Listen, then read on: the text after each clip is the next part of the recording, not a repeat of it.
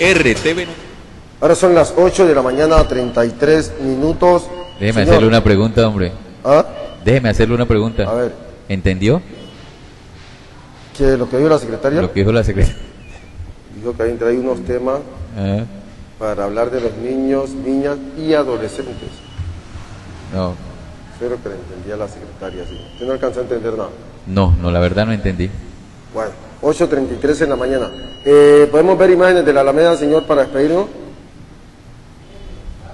A ver si nos dan imágenes de la nueva, de la Alameda de esta mañana, mejor dicho. De la de esta mañana, Jairo, y que ojalá Dure. se sostenga en el tiempo esta situación que, que hemos visto a través de fotografías, ¿no?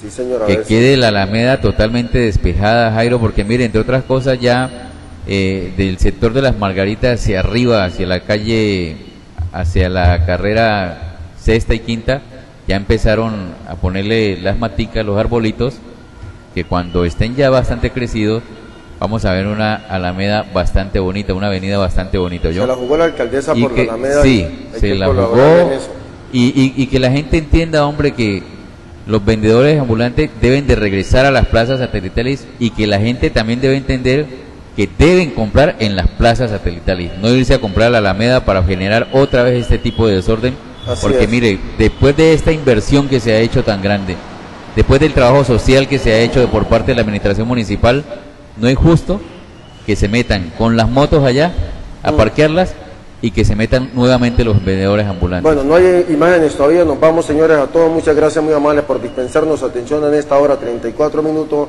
de informaciones en RTV Noticias, 5 de la tarde en repetición en Ismina, 1 de la tarde y 8 de la noche en Quibdó, mañana en punto de las 7 más informaciones, buen día para todos.